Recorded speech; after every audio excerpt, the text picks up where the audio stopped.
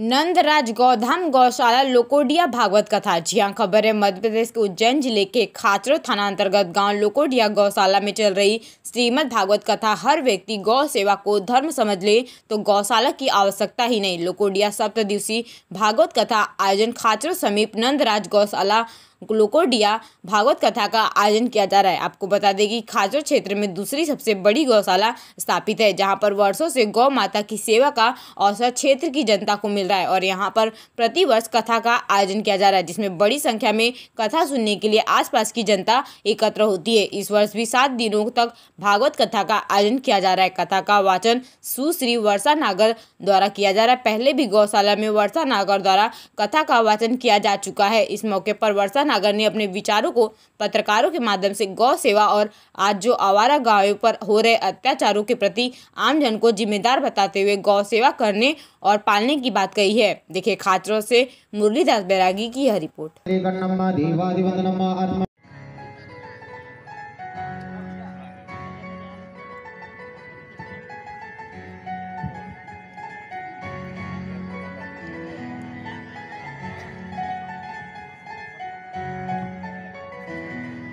Aditya photo मारना photo. उसने देखा नहीं। मैं तुम्हारी बात का क्या जवाब दूँ? वो कैसे बोला तुम्हारी बात मेरे समझ में नहीं? तुम क्या कहना चाहते हो? कि दादा मैं ये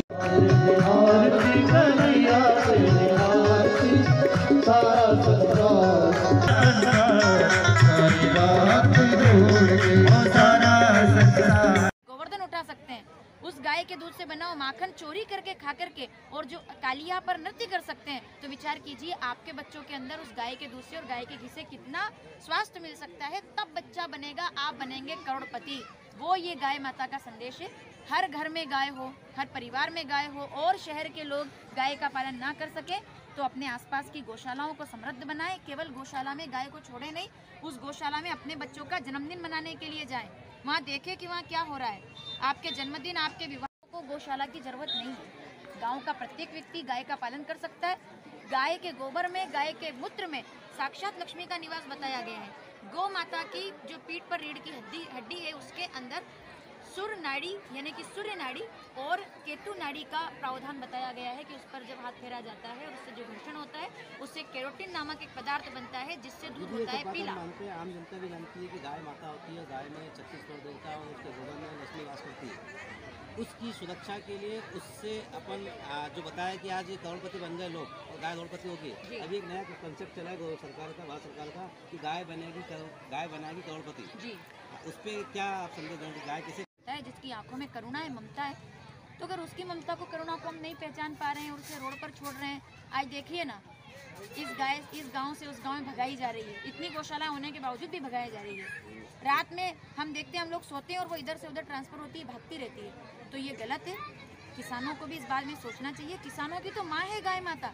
वो तो अपने खेत में, अपने घर में उसे पाल सकते हैं। गाय के गोबर से खाद बनती है गौमूत्र से निरोगी होता है इंसान। गाय का दूध, घी ये सब चीज़ें इनका प्रतिफल बहुत ज़रूरी है। प्रत्येक व्यक्ति तक ये बात पहुंचनी चाहिए कि गाय घर में रखेंगे हमारी काया निरोगी होगी काया निरोगी होगी तो गाय बनाएगी करोड़पति। ये है उसका उद्देश्य। हाँ, सरकार को आप क्या संदेश देना चाहती हैं जो प्रोजेक्ट कर रही है पंचायत के माध्यम से इस जागृति को देखिए सरकार कानून बना सरकार प्रावधान बना सकती है। जिम्मेदार प्रति व्यक्ति है। सरकार केवल गौशाला खोल देगी सरकार देखने नहीं आएगी। प्रधानमंत्री जी देखने नहीं आएँगे कि गौशाला में क्या हो रहा है। वो देखने भी जाएँगे तो एक दिन देखने जाएँगे। और जिस दिन वो देखने जाएँगे, उसकी स्थिति सुधार दी जाएगी। हमने तुरंत काल में ऐसा देखा है कि जिस गौशाला के अंदर कोई बड़ा मंत्री अगर पहुँचता है तो पूरे क्षेत्र से गाय को इकट्ठी करके वहाँ पहुँचा दिया जाता है कि भैया, हमारे यहाँ बहुत गाय है। और जैसे ही संस्थाओं के द्वारा, जैसे कि यहाँ नंदराज गौशाला चल रही है, इस गौशाला के अंदर 600 गाय हैं और सभी की स्थिति अच्छी है। हम लोग देख रहे हैं यहाँ साल भर तक इस क्षेत्र के लोग इतने दानी हैं कि साल भर तक यहाँ की गौशाला के लोगों को साल भर तक चारे और भूसे के लिए भटकना नहीं पड़ता है।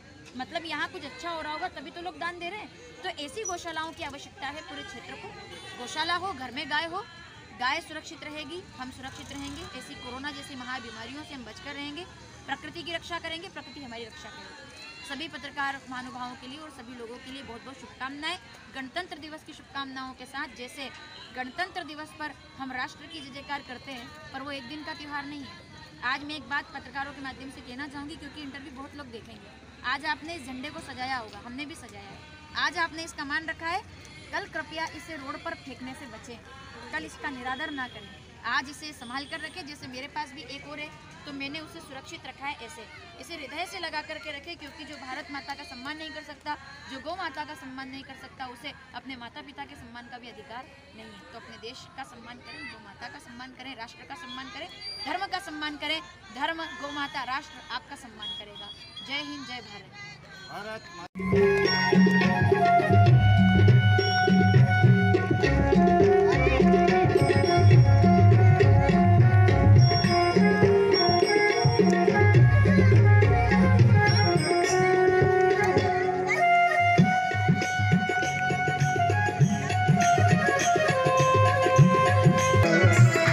करेगा हाथ जोड़ के।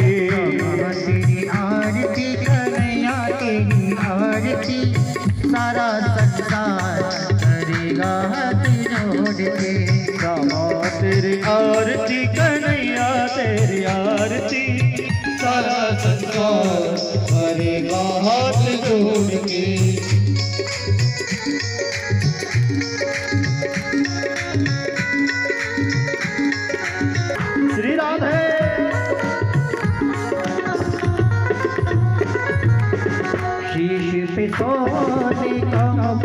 विराजे